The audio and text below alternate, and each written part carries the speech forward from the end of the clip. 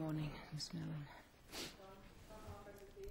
Good morning, Ms. McCarthy. Good morning, Your Honors. Kathleen McCarthy here for Mr. Diaz. I would like to address the issue of the defendant's statement, which came in in its entirety without an objection at trial.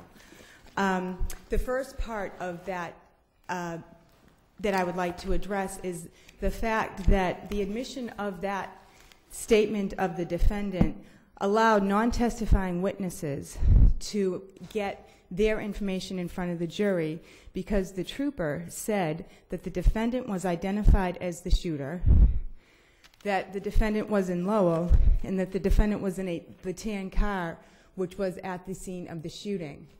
I think that there is no... I take it, though, that there was plenty of testimony to that effect. W- Weren't there six eyewitnesses or something? Not all of them identified um, Mr. Diaz as the shooter. How many of them did? Um, two identified him who knew him. There was also um, a witness or two witnesses that identified him as being at the scene. But those two witnesses, they were Edwin and Jose Alcantara, they also had motives to identify Mr. Diaz because they were one-time suspects who left the area for another state after the shooting. Did they and testify at trial? Yes, those two, and they were testified and had an agreement that they would not be um, prosecuted for the fact that they were found in possession of the gun that was the murder weapon. But, but if Excuse me one Crawford- moment. Sure. Ms. Mullen, clock. Hmm. Sorry. That's okay. You've got extra time. Oh, no. No, Just to follow up on that, so, so you've got two who identified Mr. Diaz as the shooter, two who identified him as being at the scene. I thought there were six witnesses who saw the defendant shoot the victim. Well, there were other witnesses at, two other witnesses that were at the scene, Donna um, Graham, I believe, and Mr. Aubrey, who were at the scene and did testify to what happened, but they did not make an identification of the shooter. I would also say that um, the individ, and there were, uh, I'm sorry, there was another car that was present at the scene, you're right, a Jeep Cherokee that rode up, and there was an individual, I believe, in that car who identified um, the defendant as the shooter. I'm sorry, I wasn't meaning to mislead the court. So the, so the my head. fact that in this, in this tape-recorded interview, the police officer said there were witnesses who identified you at the scene, uh, first of all, I take it that's, that's not really offered for the truth, it's just part of an interview. But how is that prejudicial when in fact there were a number of witnesses who identified the defendant? Because those witnesses, uh, it coming in that way, the unidentified phantom witnesses, I will call them, were not subject to cross-examination. And that's a very important part of a defendant's right, particularly in view of the fact, although it's easy to say these witnesses identified the defendant as the perpetrator, again, because those witnesses were under cross-examination, their identifications are not as strong as you would believe. One of the You're- witnesses... You're, ask- you're, you're making a Crawford argument, aren't you? Yes. Okay, well, let me ask you this, and um, I'm not sure that I'm clear on this, but the information came in the questions, not in the answer. Are the questions subject to Crawford, or is it just the answers? I would say that there's no getting around that the information that the detective actually said, and I, I can read it to you, that Detective Halford said that relative in the context of asking the defendant about whether he was at the scene or in the car, the detective said they identified him, me, meaning the defendant, as the person in the car. And this is on page 19 I, of I my understand, brief. I, understand. I remember what was said, but my question is, is, does Crawford apply? And I'm, I'm not sure of the answer, that's why I'm asking you. Does Crawford apply to the questions or only to the answers? I, I don't think it's limited at this time, Well, but, I think it talks about statements by witnesses, um, and but I don't, I don't know the answer. The, I I would like to comment on that because what the detective did say was he said emphatically that the people identified him, meaning the defendant, as the person. So that is a statement. I wouldn't say that was a, a question that was put to the defendant or a question that was put to the phantom witness. What that detective is saying is that these people identified the defendant as the shooter. The, But, but if you have the opportunity, when those very people are witnesses at the trial, to cross-examine them, even if Crawford applies to the questions put by the police officer uh, because they're part of a statement that's coming in. Wouldn't that solve your problem? If we knew that the witnesses that testified at trial were actually the witnesses that the officers were talking about when they were speaking to the defendant, I mean, the, the issue with Crawford is the problem that these witnesses are not in court testifying. There's no indication from the record who the witnesses are that the detectives are talking about. But about. since there are some who come, some at least, you will admit, who come in and testify, but we don't know if those are all or the ones the officer is referring to, but then wouldn't it just be cumulative if it were an error in some way? Because some, I- some at least testify. I don't think so because of the fact that although it's easy to paint it with a brush and say, well, they identified him. One of the witnesses that identified the defendant admitted under cross-examination that he had been drinking at lunch. The two Alcantara brothers who identified the defendant, one identified him as being the shooter. The other one apparently left the scene before the shooting took place. But they clearly had a motive to lie. They clearly had a motive to point the finger at That Mr. goes to Diaz. another issue, though. That goes, that goes to a, a different issue, not to whether the evidence is cumulative, but whether, how the strength of the evidence. Well, I think what it goes to is what can happen when somebody is subject to cross-examination in that their identifications were not as strong. So if the jury, in theory, thought, geez, you know, these identifications weren't strong, but you heard the detective say there were witnesses, there were a number of witnesses who saw him shoot, they in their mind could think there's other witnesses out there that corroborate what these weaker identifying witnesses in court say. Were And I think that's the problem. I'm What do you say to your sister's argument that these references were not offered for their truth, such that the defendant's confrontation rights were not violated? If that was the case, which I don't think it was, I think there should have been a limiting instruction at a minimum. Um, I would say that they were offered for their truth, and the, the judge commented that he believed that they were offered just to have their effect on the hearer, hearer, in other words, on Mr. Diaz. Um, I think that's kind of circuitous logic because the police did believe they were true. Obviously, the defendant was under arrest at the time that they had this conversation. So they did believe that these witnesses made these statements and that they were true. They were trying to get Mr. Diaz to admit it, which he didn't. So I think that that's a stretch and kind of a backdoor way to get around the Crawford rule. Do you? Well, I take it the, im- the import of, the import of his answers was that he denied that he had done the shooting, denied that he had been on the scene when the shooting occurred, and denied that he'd ever, that he'd been in that area for months. Yes. All right, and that was the point of, that was the government's point of getting that in because that was so inconsistent with all of the rest of the evidence and therefore was evidence of consciousness of guilt. Exactly, and that, that kind of segues into the other argument that another reason that statement should not have come in is because it was a complete denial by the defendant of his involvement. And under Commonwealth um, versus Ellis, I believe, the defendant's complete denial does not come in. There is no hearsay exception that allows the defendant's denial to come in. Um, and But, but the, but the, but this is a statement which is, um, I mean, to the extent that it goes to consciousness of guilt, it's relevant. Uh, it may be a denial, but it's a, it's a denial which, in fact, is an untrue denial and made to the police shortly after the crime, presumably as a part, uh, as an effort to distance himself and keep him from being accused. So why isn't that relevant, and why doesn't it come in in that context? Because it is a complete denial, the line of cases where a defendant's statement that is a denial comes in, I would suggest to you, are situations where the defendant has changed his story um, and, and things of that effect. The problem that the court has, I believe, with having a defendant's complete denial come in is because the a defendant's statement is usually the key item in the proof of guilt, and it's certainly overpowering evidence for the jury.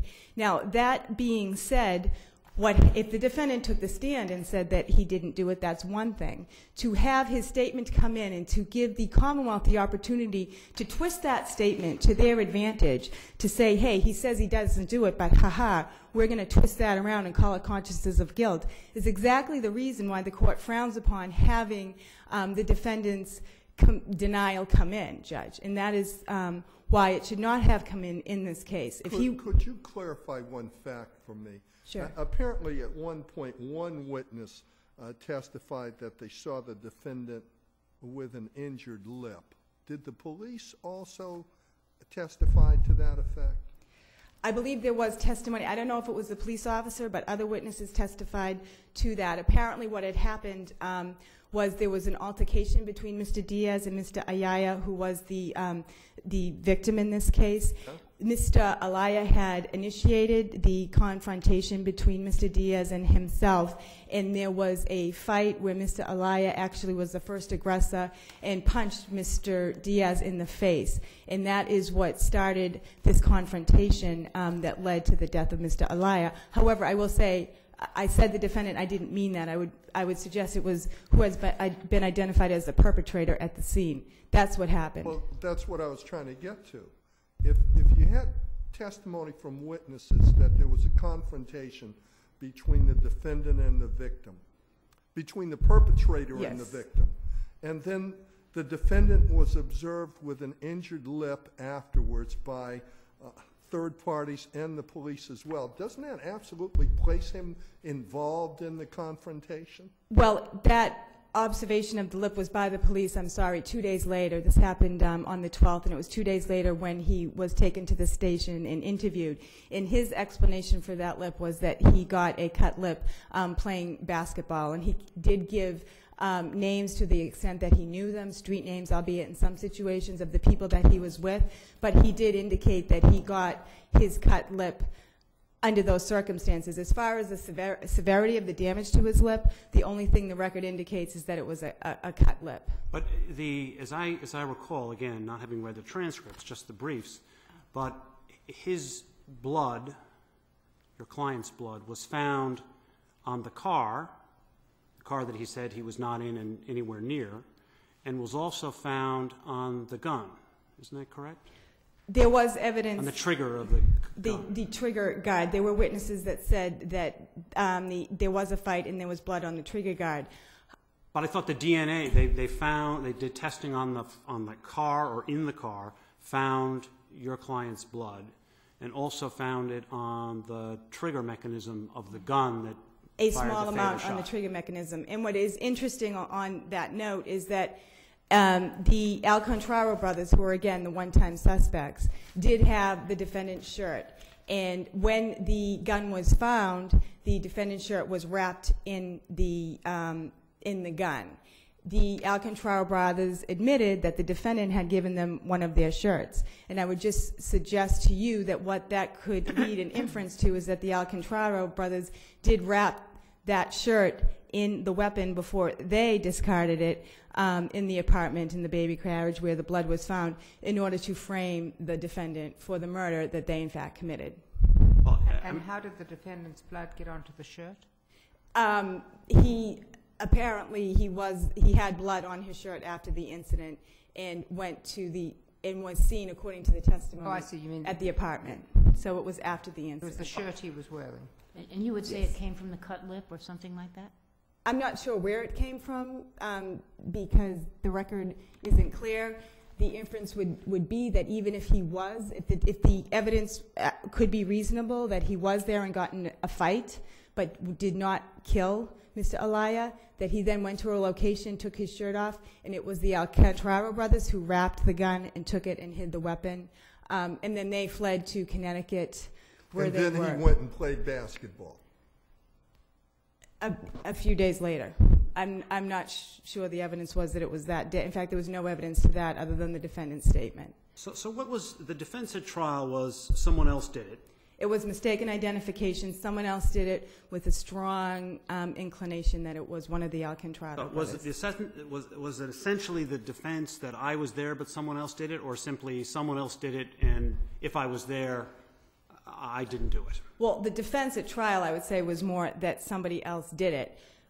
It's hard to say that, I mean, the defendant's statement came in, which they had to deal with, um, you know, being that they saw the, the fight and he had a cut lip. But the defense at trial was a little bit of a mix of both, that he didn't do it, and his statement came in that he wasn't there. Okay. So the attorney had those two issues to deal with. All right. Other errors that you point out, the jury instruction, are you pressing that? You say it uh, the judge should have instructed the jury on the excessive use of force in self-defense as a mitigation to murder? Yeah, well, there was, um, th- that is outlined in my brief, and I'm comfortable what is in the brief. Okay, that's fine. The, the, again, the point is that the altercation started by Mr. Alaya, and at the time of the alleged shooting, there was a Jeep Cherokee that pulled up to the scene. Three or four individuals got out of that Jeep Cherokee and were in the area, and I would say it could be a reasonable inference that they were there um, to support Mr. Alaya. So the numbers were not even. You had Mr. I- um, Mr. the individual who was involved in the fight, who had been struck. His car had been um, basically there pulled over by Mr. Elias' car. Well, a it confrontation ensued. inconsistent to argue self-defense when your defense is someone else did it? I don't think it has to be. I, I believe there were other. Um, there was some instruction on um, manslaughter, but not excessive force and self-defense. I don't think it's necessarily um, a bad idea to argue more than one argument to the jury, particular in this type of case, when much of the evidence um, that came in was obviously through the Commonwealth and not necessarily something that the defendant would accept as true, but something that the jury could certainly look at and have to go through to decide whether they believe it or not. And I would think it's a good strategy to try to put all of them be before the flip, but jury. it, it sounds like you're saying, he was saying, I didn't do it, but if I did do it, I was defending myself. I- think what you have to deal with is what the jury could infer from the evidence. Um, you know, as a trial attorney, you make decisions, and based on the evidence as it came in, uh, you know, an attorney could be making the decision, well, there was a lot of evidence he didn't do it, but there's also a lot of evidence that the person did do it, was engaging in self-defense. And so the jury can certainly, I don't think those two are necessarily um, separate. I think that you have to deal with what the evidence is going to be presented to, and if the jury believes you weren't there and you didn't do it, that's one thing. If they do believe you were there and there was an altercation, then they can go to the issue of whether it was self-defense or not. I don't think they necessarily have to be um, separated because you just don't know what the jury's going to believe.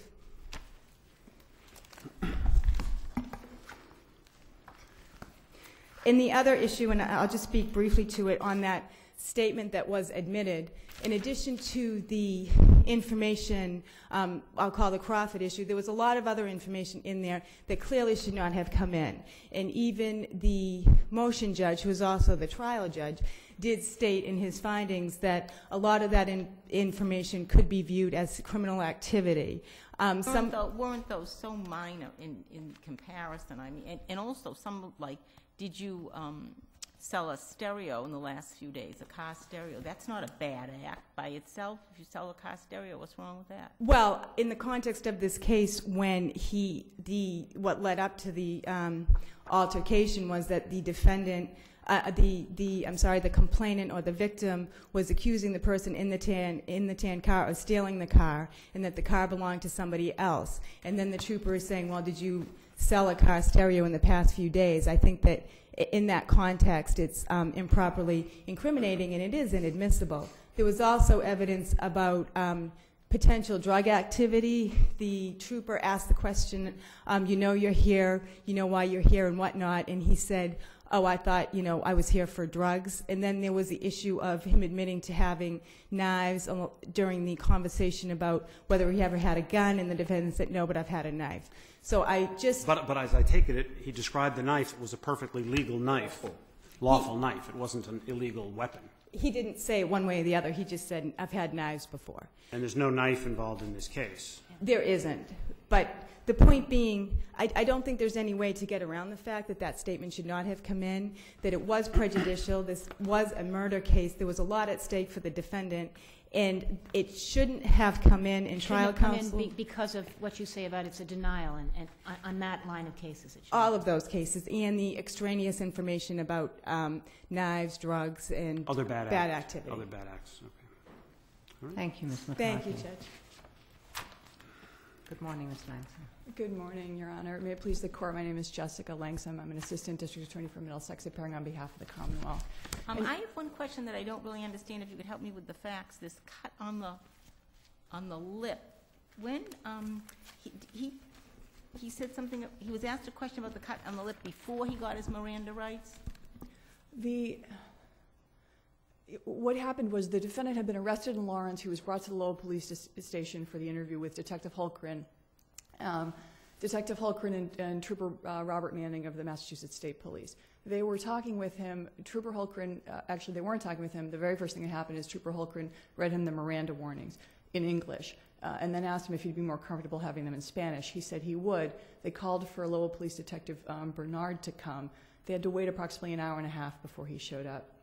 During that time, while Detective Holkgren was out getting a cup of coffee for the defendant, there was a conversation between uh, Trooper Manning and the defendant, and the defendant had said what he was doing that day, and he said, "Oh, I was I slept until 11 o'clock. I was playing basketball. I got into a fight with some people at the basketball court, and somebody punched me in the lip." Was that in response to a question from the trooper? What were you doing that day? Um, it was friendly conversation, and that's how Justice Agnes had. Uh, Well, it was, it was in, you just told her, it was in response to a question. What Yes. were you doing that day? yes, it was in response to a question, Your Honor. And- So and it doesn't matter whether it's friendly or unfriendly, it was in response to a question. Yes, it was in response to a And, question. and the day in question was not the day of the, of the That's murder, the- right? I'm sorry Was to it- Was you, it the day of the murder? that Yes. they- were talking about? This is what the defendant is saying he was doing the day of the murder. Ah. He said he woke up, he woke up at 11, he played basketball, he was never in Lowell, he had- hadn't been in Lowell in the past month and a half. Um, but I think, turning back to the Crawford issue, I think this is an opportunity for this court, since Crawford was issued in 2004, to clarify that Crawford uh, doesn't apply to non-hearsay, because that's what this was. This was not offered But, for the but truth of the matter. but how would the jury listening to this ever know that that was non-hear, I mean, how, it's coming in as a statement, it's sort of of a piece. I, I just don't know how you would make that distinction. Well, the prosecutor never, never said, in addition to the substantial evidence, Doesn't matter whether the prosecutor never said, the question is, was there limiting instruction? If a jury is listening to statements that are being made, unless somebody tells them, th th you, you can't accept this for the, as, for the truth, they're being offered for something else, the jury is going to understand uh, that they are being offered for the truth. That's why we have limiting instructions. The burden flips the other way. We assume that everything is coming in for the truth unless there's a limiting instruction. It's not what's in the prosecutor's head. Yes, that's, that's true, Your Honor, but I guess the point I'm trying to make is that the prosecutor never directed the jury's attention, never said, in addition to Doesn't all this matter. other evidence. Doesn't matter. In addition to that, before and after the tape was played, uh, Justice Agnes gave a consciousness of guilt instruction and gave the humane practice instruction. Ms. Langsam, there's no question. You would agree with me that if the police officer had said to um, a, a, a suspect who's being friendly in conversation or not friendly, um, Joe Citizen says that you were there and he saw you pull the trigger. And the defendant says, no, I wasn't there. I didn't pull the trigger. No question that if that comes in without a limiting instruction, that's a violation of Crawford if Joe Citizen doesn't testify. Correct? Uh, I'm sorry, Honor, could you repeat that, please? The issue was whether a question is subject to Crawford.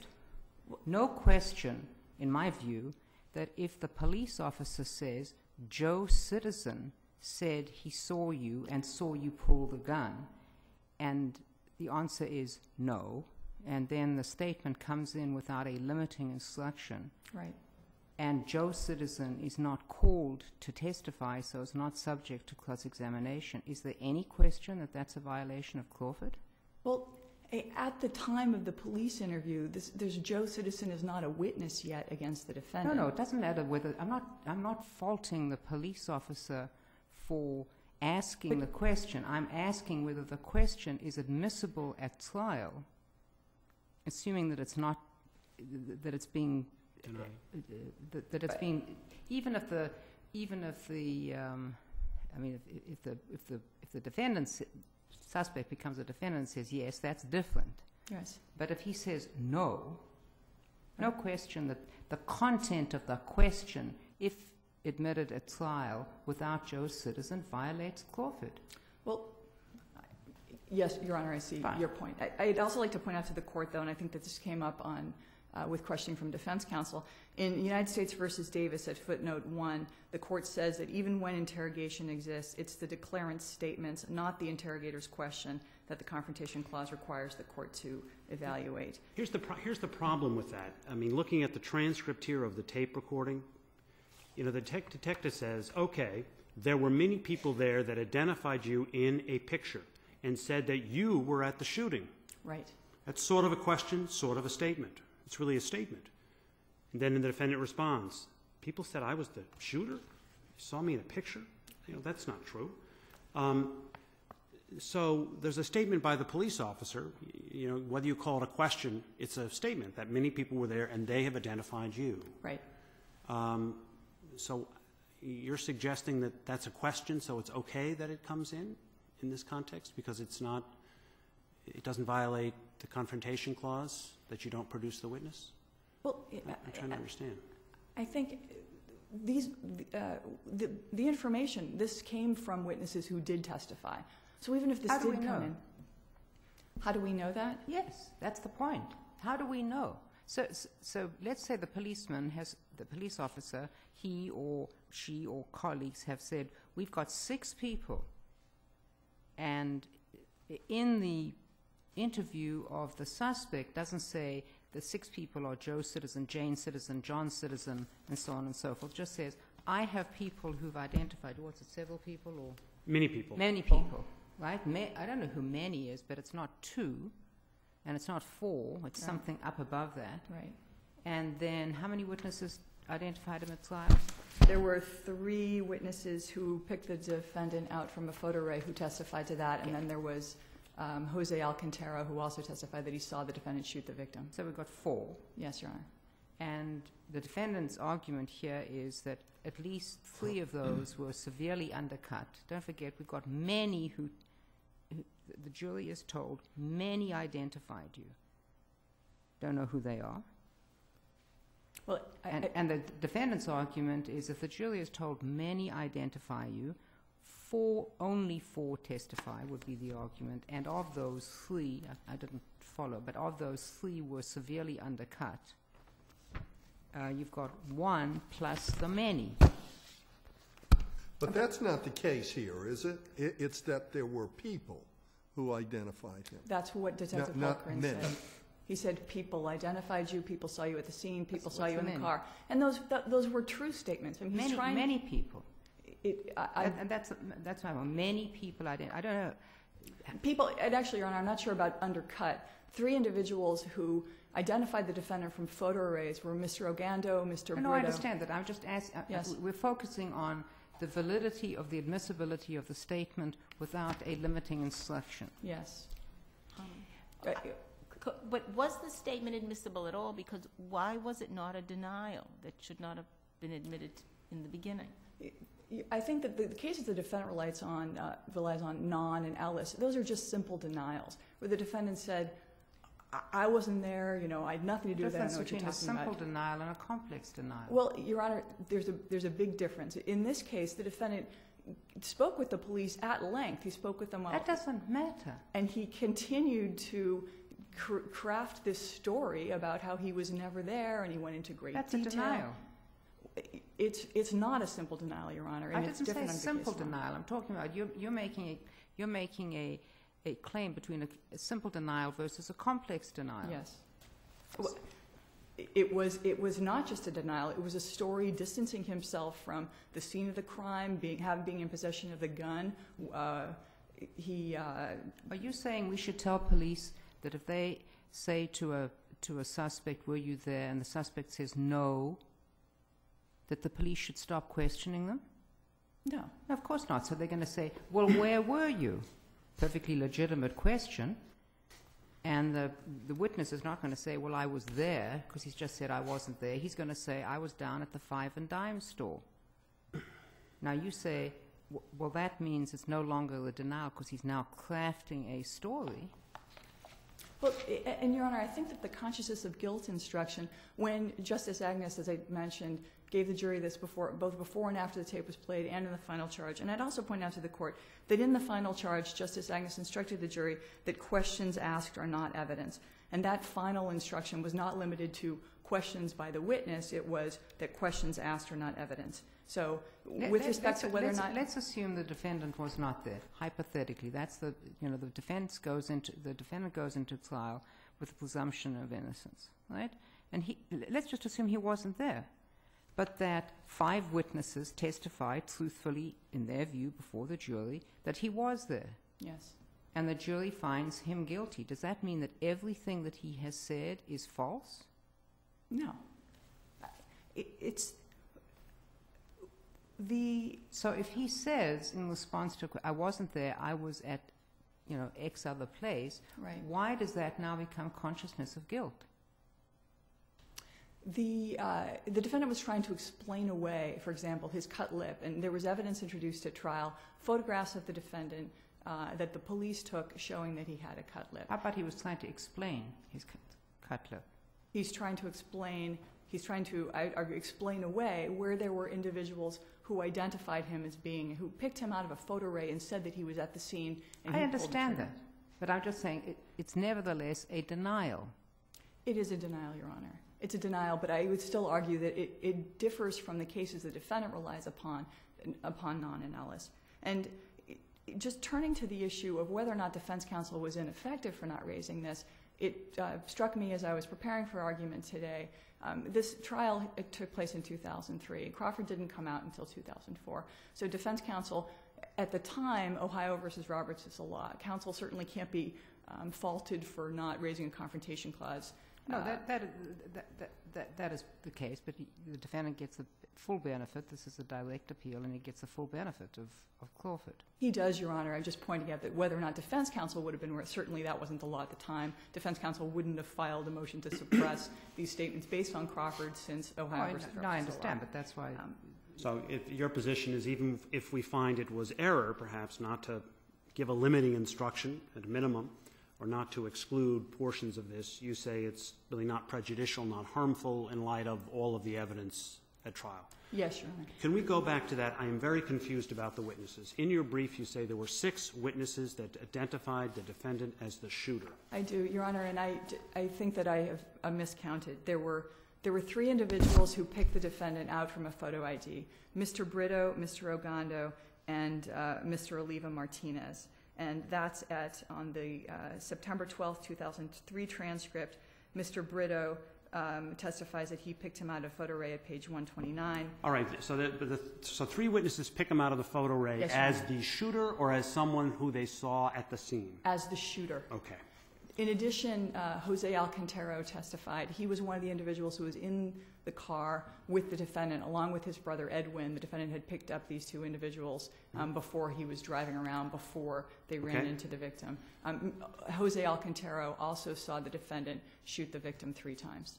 Okay, so you've got four witnesses, four eyewitnesses. Yes, Your Honor. Then you had other witnesses that placed him at the scene but didn't see whether he was the shooter? There were two individuals um, who uh, defense counsel just referred to Mr. Aubrey, who was visiting his mother at the nursing home there, and Donna Graham, who was a nurse who had, I think, a bunch of ch- children in the car. She was driving by. She saw what happened. She saw a fight. They heard a shot. They drove away. Their descriptions of the individual they thought they saw uh, matched the descriptions. Uh, it was a person who was wearing a blue shirt. Um, who was standing in a certain place with respect to the car, and, and fit in with the descriptions that the uh, other witnesses had testified to, sh- pointing to that person, the defendant, as the shooter. All right, thank you. Maybe, maybe you, s- I- I'm sorry, just one more question on the, on the denial. Yes. And, and maybe you answered this and I missed it. Would you say that if a defendant says, you know, no, I didn't do it, no, I wasn't there, and then goes on with a, with a statement about where he was, whatever, are you saying the whole thing is admissible, or should it have been redacted in some way so that the de- denials come out, or, or do you think that once you go on beyond the denial, the whole statement comes in? I think that once you go on beyond the denial, the whole statement comes in, and uh, because it's a, it's a statement of uh, either changing your mind, showing consciousness of guilt, or crafting a different story. Well, wait why is it a wait- wait a different minute. If we- story? You, you Yeah. say I, changing. I, I'm just saying, with respect to Justice Botsford's, Botsford's question, if the defendant initially denies everything and then he says, "Well, actually, no, I was there," No, but no, I no, didn't no, no, but, it." but, no, but no, say no. he says, no, I wasn't there. Yes. I was in Timbuktu. I mean, you know, goes on to explain where he was, mm-hmm. which Right. wasn't there. But, but, but, and, and it's patently false. He clearly wasn't there, and you have evidence that he wasn't in Timbuktu. Right. Would you say that that state, that part of it comes in, the whole thing comes in, or none of it comes in because it started with, I wasn't there? Well, I think that the whole thing has to come in, and that's in order for uh, the jury too to evaluate. I don't know whether the voluntariness of the statements and/or whether or not the jury thinks that the defendant made false statements and that that's evidence of consciousness of guilt. So I don't think that it can really be parsed that way. Um, turning to these bad acts, I think as the court has um, pointed out, these were, uh, as Justice Agnes concluded, um, these were relatively uh, minor uh, incidents, or uh, and in particular regarding the gun, which is maybe the most serious thing, the question whether or not the defendant ever owned a gun. There was a limiting instruction when Jose Alcantara testified that the jury could not consider evidence the defendant had given uh, guns to Jose Alcantara on the guilt and the murder, and that was in the September 15th transcript at page 35. Um, with, but again, Langsam, I, I- I don't want to beat a dead horse, but I really Yes, want to try and understand your position. Suspect, or somebody is interviewed by the police, and, and Justice Botsford's hypothetical was, suspect says, I was in Timbuktu, and then it- it's established at trial that he wasn't at Timbuktu. That I understand uh, suspect says I was at the five and dime store, and there's no way to establish whether he was at the five and dime store because you know there's no videotaping or there's no witness there or he was whatever you know I was someplace. Um, and the Commonwealth introduces evidence not about that he wasn't there, but introduces evidence that he was at the scene of the shooting and was in fact the shooter. Right? yes. Again, hypothetically, uh, the defendant didn't do it. I'm, I'm trying to get to the consciousness of guilt, Yes. right? And it turns out that, um, you know, the case is powerful. Nobody's going to set it aside. I still don't understand at the moment that it is being introduced at the trial, before you have a finding by the jury that the man is guilty, why a an explanation that the defendant gives to the police, you know, when he's first apprehended or first interviewed, is consciousness of guilt if we don't yet have a finding by the jury that is inconsistent with that. But that would apply to all consciousness of guilt evidence. We haven't yet had a finding by the jury, yet the jury may consider No, but there's lots of defendant's flight as consciousness of guilt, there's, even lo- though, there's lots of in, there's lots of evidence that does show consciousness of guilt. Uh, I, I'm not going to think of how, th- but but where one wouldn't act in that way unless you were guilty. So, for example, uh, the fact that, um, and I don't mean to be gender, but you know, a, a, a man is washing his clothes in a washer at four o'clock in the morning. And you would say, this is unusual behavior, consciousness of guilt. I have no problem with consciousness of guilt. I'm simply trying to, to understand your position that if a, if a suspect gives a statement that the police think is inconsistent with what they're going to, not because there's anything inherently suspicious about it, that that constitutes consciousness of guilt evidence. And I'm sorry, I understand the question is then, it- before the jury has made this determination, Well, any, any statement, you're saying you get a denial. You, you've already said it's in answer to a question of mine that if the defendant says, I wasn't there, and, and the suspect says no, that it is perfectly permissible, and I would agree with you, for the def- police to then say, Where were you?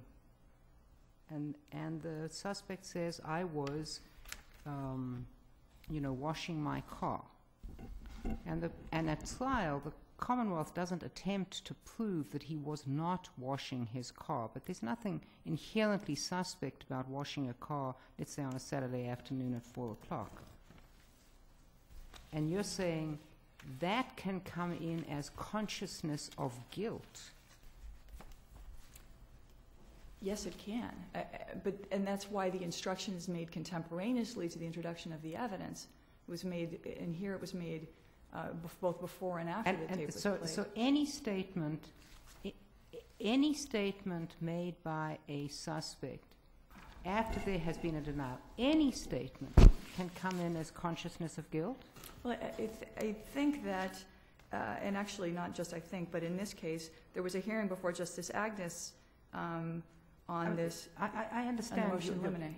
I- I- the- So I, I think the subject to, uh, uh, if there's a motion in limine, there's a, a pretrial motion, and the, the court uh, makes a determination based on the evidence that, um, i- i- in other words, the court determined here that it wasn't a denial, that it was consciousness of guilt, then that's, then that goes before the jury. Um, I- I just have one question, Yes. so that I get your argument. It's that if he had said no, do you agree that wouldn't have come in? If he had said no, and he stopped his story right there, I, I agree that wouldn't have come in. That would have been just, that would have been. But been it's denial. no, I, whatever he said, I was somewhere else that day. Yes, Your Honor. Thank you. Just, in closing, I just ask the court to affirm the judgment and the order denying the motion for new trial. I'd also ask this court to deny 33E uh, relief on the defense conviction on the theories of deliberate premeditation, extreme atrocity, and cruelty for the murder of Luis Ayala. Thank you. Thank you, Ms. Langsam.